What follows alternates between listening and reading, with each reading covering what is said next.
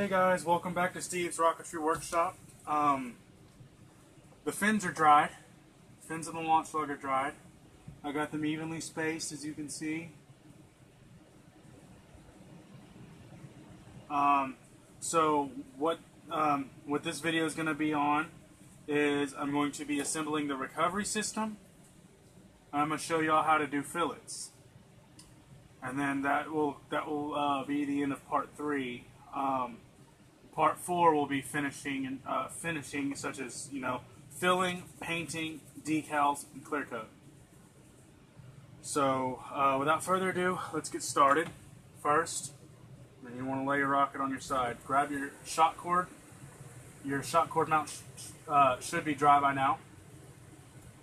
So, uh, what you want to do is you will want to smear a little bit of glue, just a little bit. Don't don't glob it on there. Um, I mean, use plenty, but don't use too much. Is what I'm trying to say. So let me um. There we go. Sorry, I had a film of glue uh, over the opening to the bottle. That happens a lot. So you, you wanna you want some uh, about that much glue.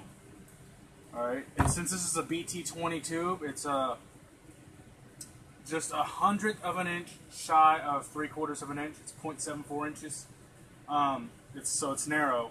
Uh, uh, you want to push it in with your pinky um, and try to push it down pretty far. Um, sorry about that. That was probably an email or a text message, one of the two. Uh, as you can tell by the tone, I'm a Zelda fan. but um, you wanna, you wanna, don't want it.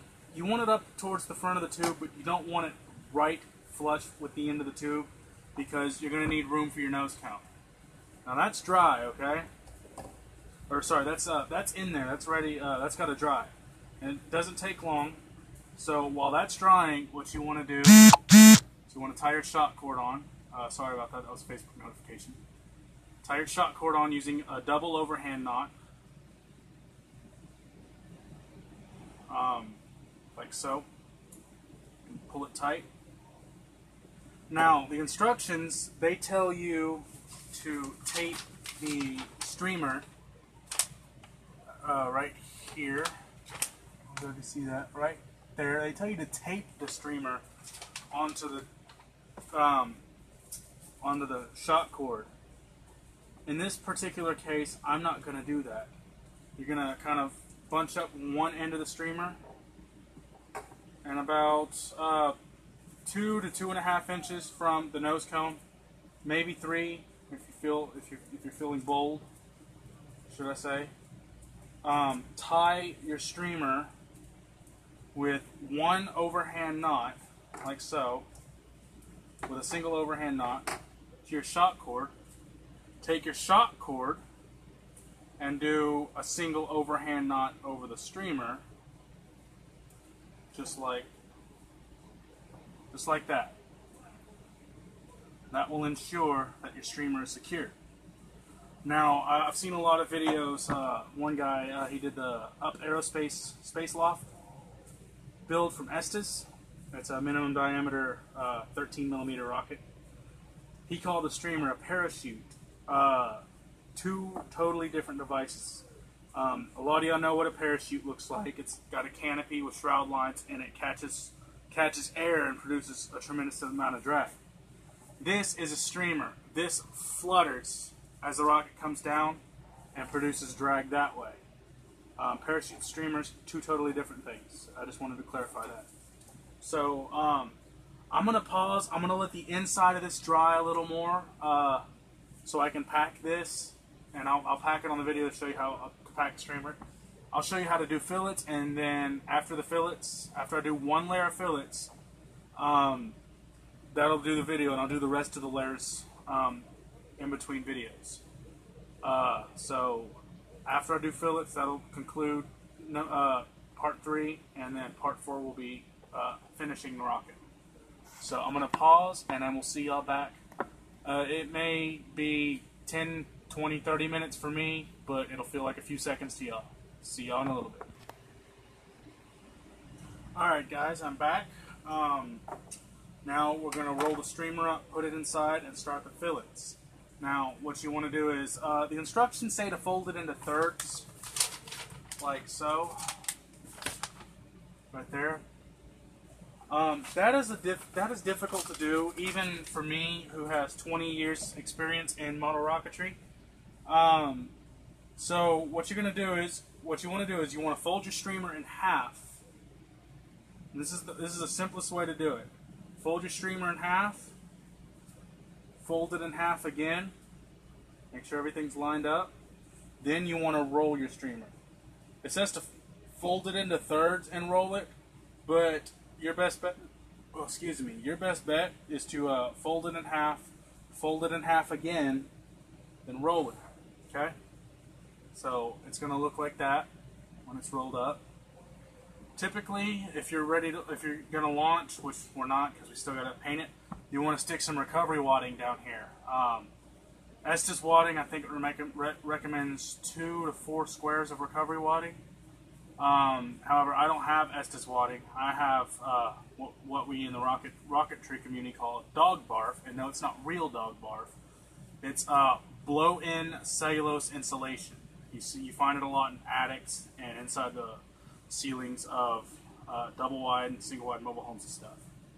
So that's basically um, it's basically ready to fly as it is. If if you're kind of impatient, but you want fillets to not. Uh, what fillets do is the uh, glue we put on the fins in part two that just bonds it to the uh, to the tube. The fillets provide strength so that when this has a hard landing, which more than likely it will, um, you don't want these fins to snap off. And the fillets also go in the launch lug because you don't want, you know, you, you got the launch rod on the launch pad through your launch lug, and you don't want you don't want this to happen during launch where your rocket goes up and your lug breaks off on the rod and your rocket, you know, goes all over the place. Because the, the the purpose of the launch rod on the launch pad is not only to hold the rocket on the pad, but it guides the rocket through its first few milliseconds of flight until it is going fast enough for the fins to guide it. So that is why the launch lug and the launch rod on a model rocket are just as important as your nose cone and your fins and your, your recovery system. So without further ado, let's get started on fillets. What you want to do is you want to apply a thin bead, very thin. Uh, you you want to do several thin layers of fillets as opposed to one thick layer. It dries faster and dries stronger. The more layers you're able to put, the stronger your fillet will be. So you want thin layers, and whatever excess you have on your finger, just wipe it off on the next joint. See, like that one. I had enough excess where I didn't need to put an extra bead of glue. You want to do that, thin layers on all three of your fins, both sides, and then you want to do the same on both sides of your launch lug. So, and typically what likes to ha- what a lot of people uh, like to do when they're fillet strung is they like to set their rocket down sideways, which is good but a lot of times that glue will run and it'll really ruin your finish on your rocket. So this is the final final uh, piece of this video, and I'll cut after this. You want to rotate, not not uh, you don't have to do it until the glue dries. You just for 15, 20, 30 minutes until your glue sets to where uh, you know it's still wet, but there's that film over the top that'll keep it from running. You just want to rotate your rocket at a consistent speed, keep it going one speed, don't go too slow, don't go too fast. But rotate your rocket. And I can thank uh, YouTuber TL Grimmy. Um, I was watching his video on the Estes Hornet, and he used this technique of rotating the rocket till the glue sets. So thank you, user TL Grimmy.